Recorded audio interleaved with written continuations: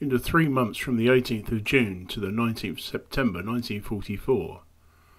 49 V-1 flying bombs fell on Mitcham, killing 66 people, damaging 13,713 houses.